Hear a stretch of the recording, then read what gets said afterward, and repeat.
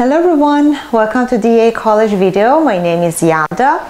Today I want to teach you how you can get a day off, right? How you can talk to your boss or the human resource in your company and tell them that you're not coming. You're going on vacation or for the other reasons. In some companies, um, there are just like different rules. You know, just like the rules of just like getting day off is different from a company to another company. Some of them they're just more relaxed and they don't really care if you just get a day off for a day or two. But some of them the situation is tougher or more critical or they don't really like it if you get a day off. In some companies, um, for example, they have two weeks or three weeks vacation. Some of them they have just less than that, just like for example a week or two. But for just like getting a day off, some companies they have paid day off or some of them they don't have it. It really depends on the policy of the company that you're working for. But anyways, whenever you want to get a day off, you have to inform your boss that you're not going that day. Um, so just have it in your mind. Whenever you want to just like ask for a day off you usually have to contact your boss directly. If it's a very big company probably you need to contact your human resource. But usually you're going to contact your boss whenever you want a day off um, so whenever you're asking for a day off two things um, are very important to mention so one of them is the date that you're not going the other one, a reason why you're not going. Okay, so you have to just like mention it in your email or just like if you call them. First of all, the date and a day and a date and a reason why you're not going. The way that you write the date, you know, in just like in speaking or even writing in North America. So first of all, you have to uh, mention the month, right? And after that, the day and the year. So you have to say November 5th, 2009, for example. November is the month, so you should just like keep it first, right? So first you have to just say the month. Second, the day, just don't forget you have to use ordinal number. First, second, third, fourth. So you never say one, two, three, okay? For the date, you must use ordinal number, right? Fifth, for example, November 5th, 2019.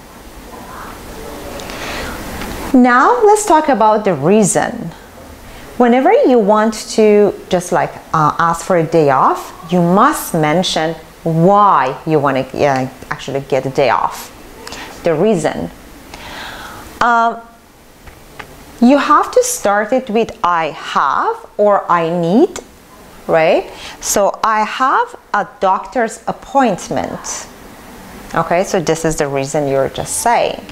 Or I need, I have or I need or I need to go to a parent meeting at my child's school. These are the reasons. But you must use have or need. I need and just like say the reason. Or I have and then the reason. If you want to go on a vacation, you must use want. Okay, you have to start your email with want. I want to go on a vacation. Okay? If you're just like calling your boss on a very short notice, for example, just uh, you wake up and see, for example, your kid has a fever, and you have to take your kid to a doctor, and you cannot go to work you must call your actually boss directly because it's very important to do so. And you have to just like speak very directly and tell your boss that you can't go okay? So you have to use a very direct phrase. I can't go to work today because of this okay? Or i need a day off because and just say the reason. But you have to be very direct whenever you want to just like call your boss on a very short notice. Um, if you're sick or so you have some sort of illness, so you can start your email with uh, the reason with I have. For example, I have the flu or I have a headache. Since asking for a day off is just like kind of a formal request, you have to start it with dear, right? Dear Mrs. Johnson or Miss Johnson. I'm writing to request some time off. So you have to start your email like that, okay? So I'm writing to request some time off. Now here, as I said, you have to just exactly say when, okay? The date is very important. Between Monday, February 18th and Friday, March 8th, up to here is the date and here is the reason. In order to work on my MBA dissertation, which is due for submission on March 30th. Okay, so you see all the dates are ordinal number, okay? So here you say why you want a day off. You have to explain it directly and clearly. I have spoken to Chris who has agreed to cover for me. It means he has agreed to do the, to do my job when I'm not around, right? When I'm not at work. Chris, okay, I've spoken to Chris who has agreed to cover for me during my absence. He's doing my job when I'm not at work. Okay, so whenever I'm just like absent from my work.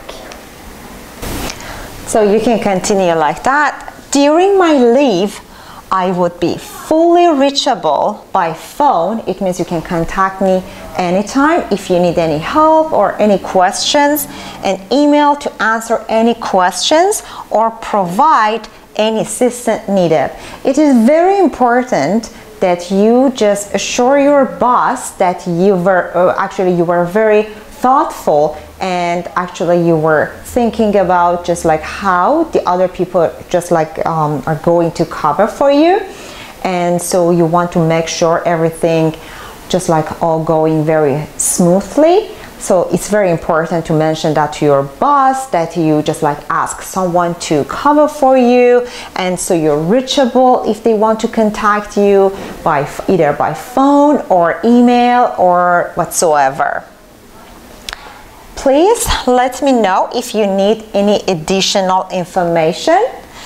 Thank you for your consideration of my request. It is very important to thank your boss for uh, considering your request okay for just like requesting for a day off so thank you for your consideration of my request best regards and here you have to just like your signature you have to write your name at the end of the email Thank you for watching this video. I hope it is very useful for you. And next time you want to just like get a day off, so just like consider all these tips that I told you today. Thank you and have a nice day.